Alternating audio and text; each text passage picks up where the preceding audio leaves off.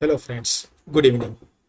Today I am capturing a video for Odoo Manufacturing Work Center Employee Cost. Now we are on version 19 and an improvement has been made by Odoo in version 19. So what happens is previously in any Odoo version when we are setting any work center cost per hour per work center and per employee this cost is not calculated by Odoo during the cost of production. But the actual cost from the employee who is working on this work center will be calculated from his you know normal employee menu.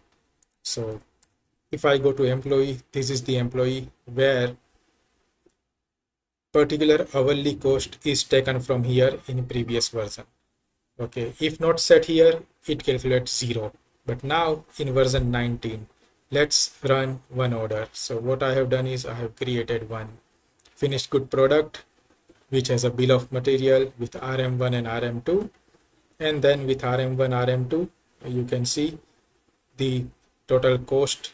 It is consumed 2 plus 2 units. And then 60 minute will be the operation cost which cover $100 as a work center cost and $60 as an employee cost.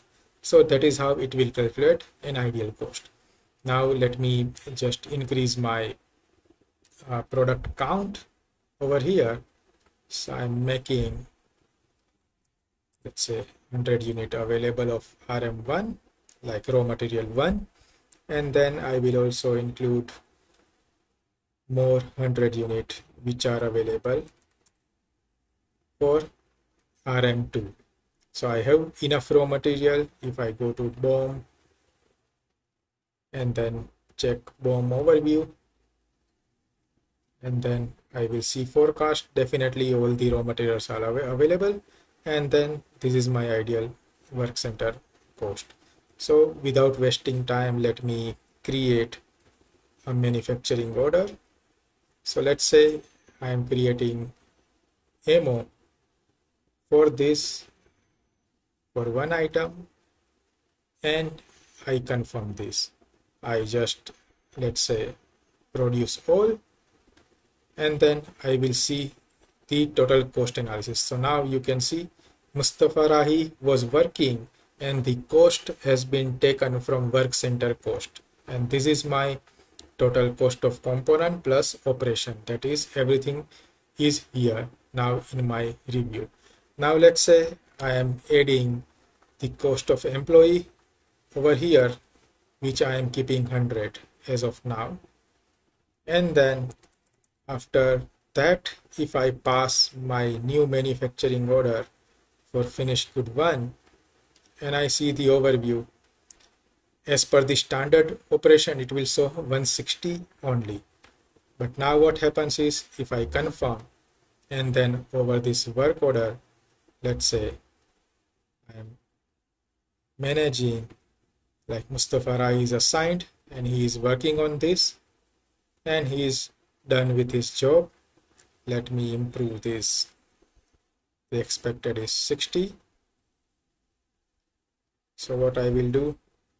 I will just change 1026 to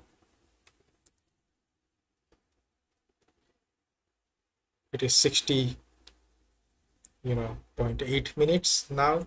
We can see and then I save it and then I say produce all and let's see on overview. So now you can see the cost of employees updated with 100 which is coming from employee HR settings. So that's how now Odoo has improved this particular setting like if my cost is set on work center and not on employee then work center cost is taken into account. If my employee cost per hour is set on employee management then it will fetch the cost of employee from there. So this is how odoo has done this improvement which is requested since along and now it is available in version 19 hope this will help many people to you know accurately manage the cost of operations using either work center or the employee who is working on that by just setting this right way Thank you guys. Good day.